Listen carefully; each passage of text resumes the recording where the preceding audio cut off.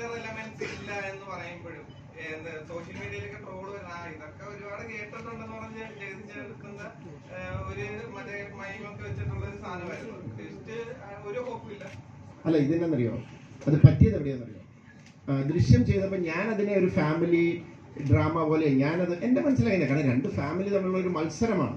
അതിനകത്തൊരു ക്രൈമും വന്നു. ക്ലൈമാക്സിൽ ഒരു സർപ്രൈസിങ് എലമെന്റ് വന്നു.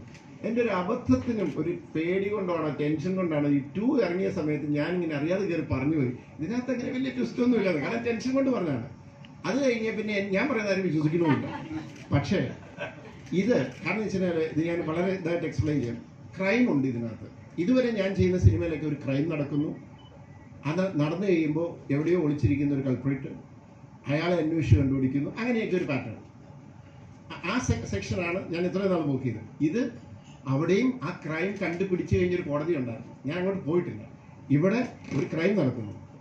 അഞ്ച് മിനിറ്റ് നിങ്ങൾക്ക് മനസ്സിലായി ആരാ ചെയ്തത്? എന്താണ് ക്രൈം എല്ലാം മനസ്സിലായി. അവിടുന്ന് അതെടുത്ത് ഞങ്ങൾ കോടതിയിലേക്ക് പോയി ചെയ്യുന്നു കോടതിയിൽ എന്താണ് നടക്കുന്നത്?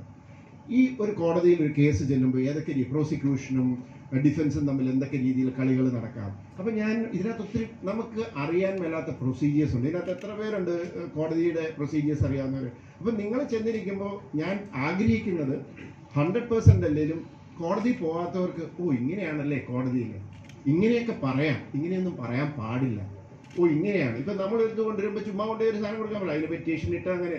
ഇതെല്ലാം ഞാൻ ശാന്തിയെ കൊണ്ട് അത് എഴുതിച്ചു. അത് അതാ ശാന്തി പറഞ്ഞു എഴുതി ഇതെല്ലാം കൊണ്ടപ്പോൾ ഞാൻ പേടിച്ചു എന്നിട്ട് ഞാൻ നമുക്ക് ഇതിനകത്ത് ഇമ്പോർട്ടന്റ് ആയിട്ടുള്ള എടുക്കാം. എന്നിട്ട് എല്ലാം ചെറുതായിട്ട് ചെറുതായിട്ട് മെൻഷൻ ചെയ്ത് കണക്ട് ചെയ്ത് വിഷ്വലി ഇത് ചെയ്ത്. ജസ്റ്റ് ഒരു എക്സാമ്പിൾ പറയാം. ഒരു ഷോട്ടിലുണ്ട് ജഡ്ജി ഇങ്ങനെ ചെയ്യാൻ നേരത്ത് അവിടെ ഒരു കലണ്ടർ അപ്പോൾ ശാന്തി അവിടെ ഒരു കലണ്ടർ ഉണ്ടാവും. അടുത്ത പോസ്റ്റിംഗ് ഉണ്ട് പുള്ളി കലണ്ടറിലേക്ക് ഒന്ന് നോക്കും. അങ്ങനെ അങ്ങനെ അങ്ങനെ അങ്ങനെ കൊച്ചു കൊച്ചു സാധനങ്ങളുണ്ട്. ഇതെല്ലാം നമ്മൾ പറ്റുന്ന പോലെ അതിനകത്ത് ഇൻകോർപ്പറേറ്റ് ചെയ്ത് അതിന്റെ ഒരു ആംബിയൻസ് കൊണ്ടുവന്നിട്ടുണ്ട്. ഇപ്പൊ പറഞ്ഞാൽ സാറിനോട് പറഞ്ഞപ്പോഴാണ് ഞാൻ മനസ്സിലായത്. ഇങ്ങനെ ഇങ്ങനെ നടക്കാവുള്ളൂ പുറം രീതിയിൽ അന്നേരം ഞാൻ കേൾക്കുന്നത്. അന്ന് ഞങ്ങളൊരു ഡിസ്കഷൻ ഉണ്ടായിട്ടില്ല.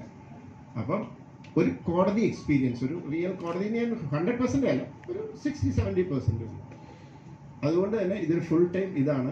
പിന്നെ ഓൺലൈനിൽ ആരോ എഴുതിയെന്ന് ഞാൻ മനസ്സിലാക്കിയത് ഈ ക്രൈം ഉള്ളതുകൊണ്ട് ആൾക്കാർ വിചാരിച്ചിരിക്കുന്നത് ആ ക്രൈമിനകത്ത് ഒരാളെ പിടിച്ചു കോടതി വന്നിട്ട് വിജയമോഹൻ പ്രൂവ് ചെയ്യാണ്. ഇയാളല്ല വേറൊരാളാണ്. അങ്ങനെയൊന്നുമില്ല.